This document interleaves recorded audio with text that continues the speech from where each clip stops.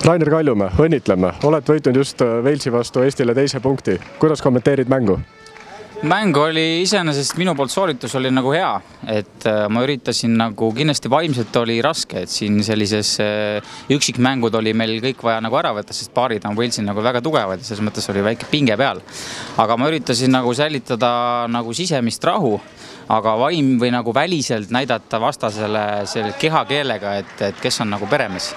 Proovisin nagu erinevalt eilsest nagu olla rohkem pea püsti ja, ja kuna vastane oli selline noor ka ja võib-olla kogenematu natuke, et siis see sellel korral nagu aitas nagu mind väga hästi.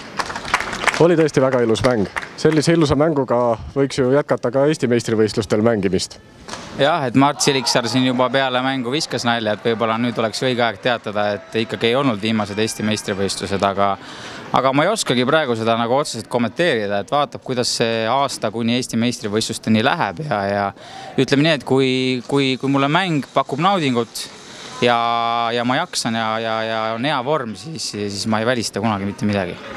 Aitäh sulle, igatahes Eesti sulgpalliüldsus ootab sind väljakutele tagasi. aitäh